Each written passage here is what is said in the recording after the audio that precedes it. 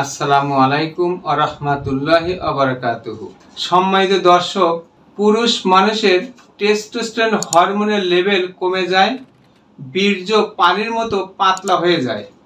স্ত্রীর কাছে গেলে লিঙ্গ শক্ত হয় না, লিঙ্গ আস্তে আস্তে চিকন এবং ছোট হয়ে যায়।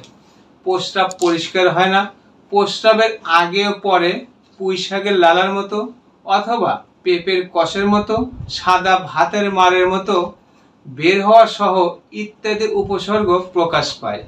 তো সম্মানিত সুদী যাদের পেটের সমস্যা থাকে, তাদের যৌন রোগ থাকবেই। আর পেটের চিকিৎসা না করে যৌন রোগের জন্য যত ডাক্তারি দেখান, যত ঔষধি খান, আর যত টাকাই খরচ করেন, কোনো লাভ হবে না।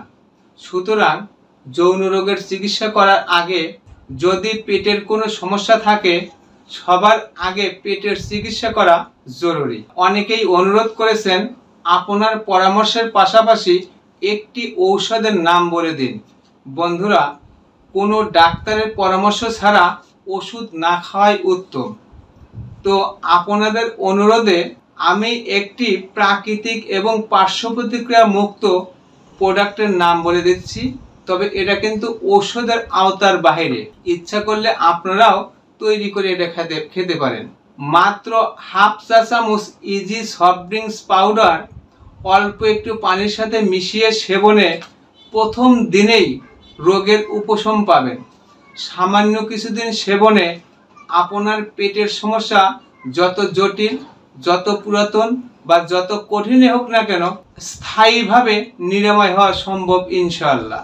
সেই সাথে পুরুষ মানুষের পাতলা বীর্য ঘন এবং গাঢ় হবে। পুরুষ অঙ্গ লম্বা এবং মোটা হবে। পঁচিশ তিরিশ মিনিট স্ত্রীর সাথে মিলন করলেও বীর্যপাত হবে না। সম্মানিত দর্শক লাইক দিয়ে আমার সাথেই থাকুন। আপনার একটি মাত্র শেয়ারে উপকৃত হতে পারে এই যন্ত্রণাদায়ক রোগে আক্রান্ত লক্ষ লক্ষ রোগী। আমার কথাগুলো কোথাও বুঝতে অসুবিধা হলে অথবা বিস্তারিত জানতে কমেন্ট করুন। আপনাদের পোস্টের উত্তর নিয়ে আমি আশরাফুল আলম উপস্থিত হব আগামী পর্বে।